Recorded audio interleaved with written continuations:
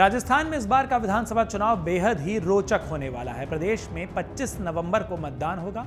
इसके परिणाम 3 दिसंबर को आएँगे। ऐसे में भारतीय जनता पार्टी और कांग्रेस दोनों के लिए राजस्थान इस वक्त मुसीबत का सबब बना हुआ है। दरअसल एक तरफ़ जहाँ वसुंधरा राजे पर बीजेपी कुछ भी खुलकर नहीं बोल पा रही तो वहीं दूसरी तरफ़ कांग्रेस के उम्मीदवारों की लिस्ट घोषित ही नहीं हो पा रही। ऐसे में खबर यह है कि कांग्रेस राजस्थान में कई मौजूदा नेताओं के टिकट काट सकती है। तो यहाँ पर सवाल उठता है कि किन नेताओं के टिकट कट सकते हैं? कांग्रेस क्यों अभी तक अपनी लिस्ट जारी नहीं कर पा रही?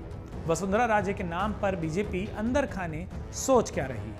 अगर इन सब सवालों के जवाब चाहिए तो आइए आपको इस वीडियो में बताते हैं। एक एक करके बात करते हैं और सबसे पहले बात कांग्रेस के बारे में। किन मंत्रियों के टिकट कट सकते हैं? अगर इस बात की जाए तो पता चल रहा है कि कांग्रेस में इस बार कई मंत्रियों के टिकट कटने की संभावना बनी हुई है, जिनमें कई बड़े नाम भी शामिल हैं। उदाहरण के तौर पर भरतपुर के कामा से विधायक और मंत्री जाहिदा खान का जोरदार विरोध हो रहा है।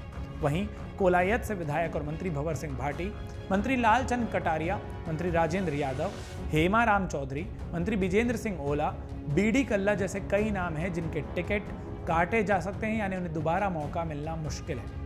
इन मंत्रियों का पिछले कई महीनों से विरोध हो रहा है और आंतरिक सर्वे रिपोर्ट में भी इन्हें पीछे पाया गया है चुनावी मैदान में। वैसे जयपुर जैसे कुछ बड़े शहरों की चर्चा है, जहाँ उनके टिकट भी काटे जा सकते हैं जो इन इलाकों से लड़ते हैं। हालाँकि अभी कांग्रेस में महासंग्राम दिल्ली में जारी है, जहाँ बैठकों का दौर चल रहा है। अब बीजेपी में विधायकों पर आफत आई है। भारतीय जनता पार्टी कई विधायकों के टिकट पहली ही लिस्ट में काट चुकी है और अभी कई और के हो सकता है कि टिकट कटने बाकी हों। जयपुर की बात करें तो मालवीय नगर, सांगनेर, ये दो ऐसी बड़ी सीटें हैं जहाँ पर बदलाव की पूरी संभावना बताई जा रही है। यहाँ से बीजेपी के दो बड़े चेहरे हैं। ऐसे कई ज़िले हैं जहाँ पर सिटिंग विधायकों को दोबारा टिकट नहीं दिया जाने वाला है।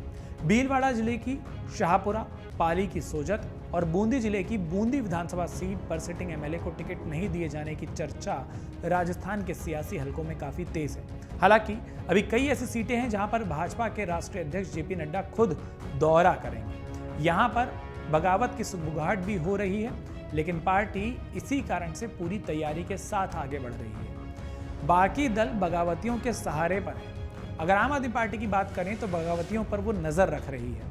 जो भी बड़े नेता भाजपा या कांग्रेस से टिकट ना पाने पर चुनावी मैदान में जाना चाहते हैं, उन पर आम आदमी पार्टी की पूरी नज़र बनी हुई है। पार्टी के नेताओं का दावा है कि उनके टच में कई दिग्गज हैं जो टिकट ना मिलने के बाद आम आदमी पार्टी में जाना चाह रहे हैं। वहीं बसपा भी बड़ी संख्या में बगावतियों पर नज़र रख रही है और उन्हें मैदान में उतारेगी।